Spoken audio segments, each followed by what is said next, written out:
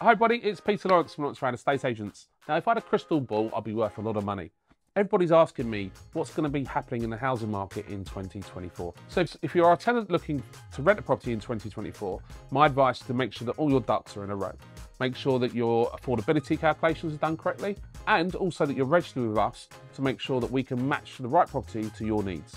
So, carrying out research on the properties that we've rented this year in 2023, I think this is going to be going into 2024 as well with the demand of people looking to rent.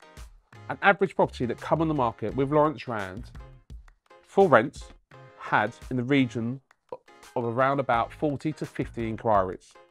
So we've got a ready-made market there.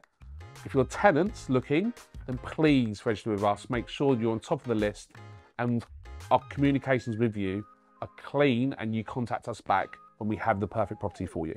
Then give us a call on 01895 632211 and we can run through all of this with you.